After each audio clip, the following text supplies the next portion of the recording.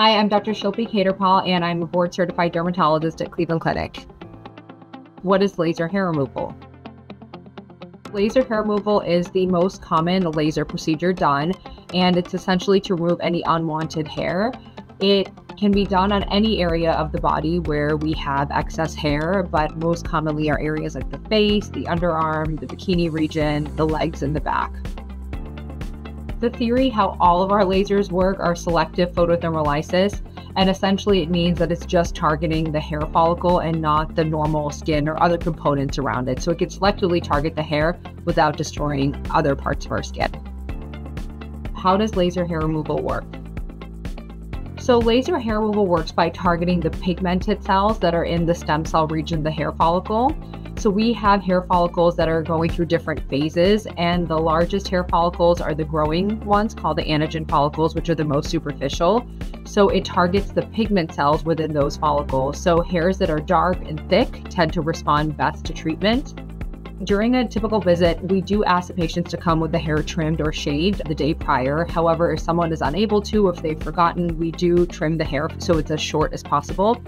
We then clean the area with alcohol, and then the patient and the providers all wear protective glasses to protect our eyes from the laser.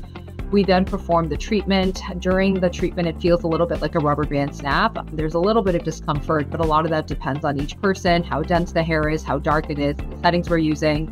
Afterwards, it, it looks a little bit pink and puffy, almost like a mild to moderate sunburn. We give ice afterwards for discomfort, and most people tolerate it very well. Who can have laser hair removal? Laser hair removal can generally be done on most people. Hairs that are white, gray, blonde, or red tend not to do as well.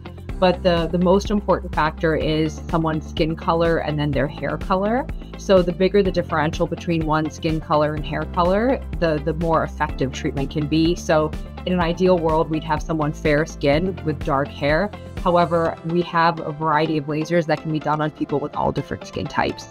Other things to consider we don't recommend doing laser hair removal during pregnancy. If someone has like an active infection, active acne, or skin cancer in the area, we wouldn't want to treat there. Cold sores or genital herpes, people that have had a history of keloids, we usually treat them very cautiously and perhaps do a test spot before to make sure they tolerate it. But otherwise, most people are generally candidates for it. How long does laser hair removal take? There's a lot of factors that determine how long each appointment is. Smaller areas like the face or the underarm take five to 10 minutes.